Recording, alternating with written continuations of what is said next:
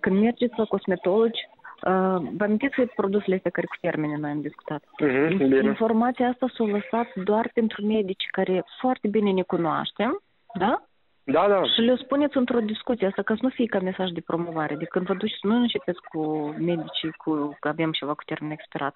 Potrivit unui comunicat al CNA, 20 de persoane au fost reținute în dosare ce vizează aplicarea unei scheme prin care agenții de vânzare ai companiilor farmaceutice se înțelegeau cu medicii din cadrul instituțiilor medico-sanitare pentru a le promova produsele, chiar și cele cu termen expirat. Am mers astăzi în vizită la una din farmaciile unde au avut loc percheziții.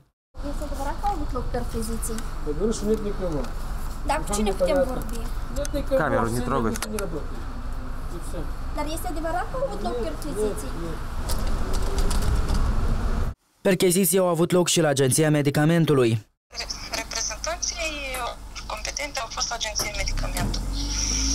Au fost ridicate acte? Altă informație nu vă pot oferi. Chiar deloc nu-ți gândești la pacient, gândești în primul rând la firmele cele care îi dau bani. Păi, e ca Pentru că scrie netra недозол и три формы. Три метра Нидозол три скриметро нидозол, скри трихопол таблет, шунды, скриинг, зифекс, э, э, э, суппозиторий, то диметронидазол. Кы диметронидазолу богатая фемея чея.